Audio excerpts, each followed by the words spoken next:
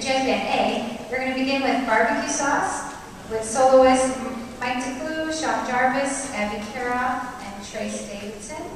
Then Gospel John featuring Tommy Green and Ian Maxura and Justin Pullen. And then The Incredibles.